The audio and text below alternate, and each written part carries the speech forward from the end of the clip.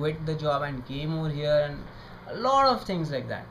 So but what happened here was that word got to the management to the to the pune management managers that i'm talking to people about this. They summoned me and hmm. they tried to pressurize me to not talk about this to anybody.